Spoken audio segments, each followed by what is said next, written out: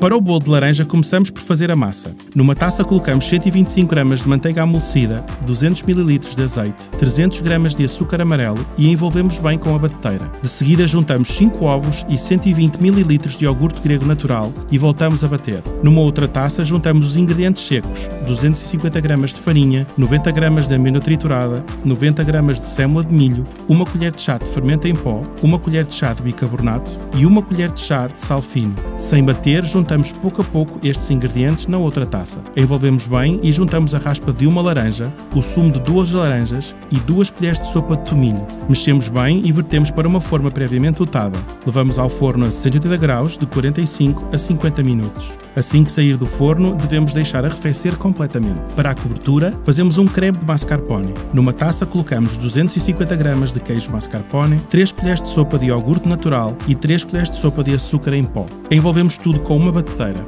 Assim que o bolo estiver arrefecido, desenformamos e barramos com o creme de mascarpone por cima. Adicionamos ainda umas tiras muito finas de casca de laranja e, claro, umas folhas de tomilho.